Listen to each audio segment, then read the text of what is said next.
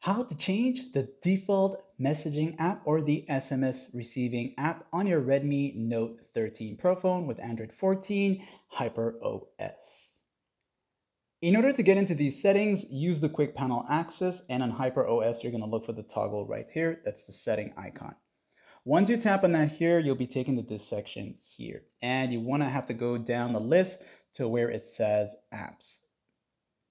Under this section here, you'll see these three dots at the top right, and you'll see other settings. Go ahead and tap on other settings right there, and this will take you to these other app settings. You wanna go to where it says default apps right here. And from here, you'll see all the default app settings that you can change.